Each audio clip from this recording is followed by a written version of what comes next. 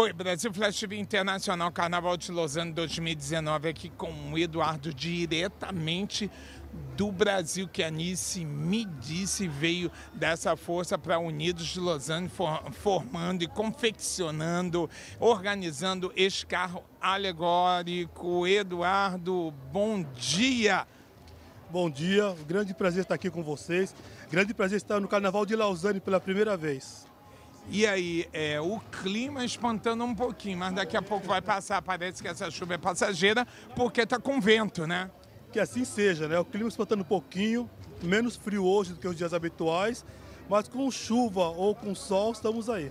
Certamente. Carnaval sai com chuva ou com sol, porque a data está marcada e só você tem essa experiência, né, Eduardo? É, bastante experiência, né? 16 anos como carnavalesco em São Paulo. Graças a Deus consegui título em todos os grupos, né? E dessa vez a corrida da Nice, estou muito feliz participando aqui do Carnaval da Suíça.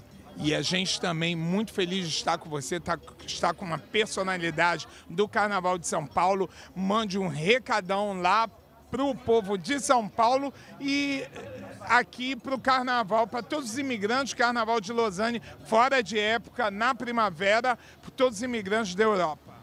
Bom, quero dizer a todos que quem está aqui venha assistir nos próximos anos. O carnaval aqui é fantástico, a comunidade aqui é fantástica. E brasileiros, na Europa tem carnaval sim, viu? Tem samba sim. Vem conosco. Eduardo Worldwide for You na Brasil Flash TV.